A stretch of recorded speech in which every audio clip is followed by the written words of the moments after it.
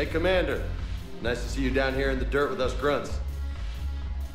You think I don't like getting dirty? Oh, now, come on. I didn't mean anything by it, Commander. Uh-huh. What did you mean then? See those Marines over there? None of them officers, just soldiers fighting the war. Yeah? They've been buying me drinks all night. You know why? Same reason they got all quiet and serious when you walked in. I've seen a hell of a lot, but I'm still just a soldier. I'm still one of them. Sure, but they don't know you. They just know what they've been told. Listen, you want them to see you're one of us, right?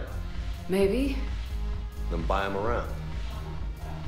I like the way you think, Lieutenant. Compadres, hey! The commander would like you to have a drink. On her. So here's to us. Who's like us? Damn few. And they're all dead. It's an honor meeting you, Commander. Thanks, but we're all in this together.